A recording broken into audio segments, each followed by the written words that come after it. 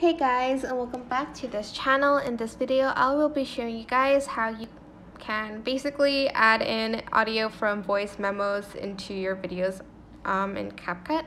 So for instance you want to add in like an audio from like your voice memos here. Select it and you're actually going to select the three dots here.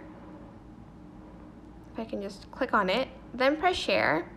Then you're actually just going to open up the CapCut um, app. So select the CapCut button and select import audio to CapCut and it's going to import that audio into CapCut from voice memos. That is it. I hope this tutorial was helpful for you guys.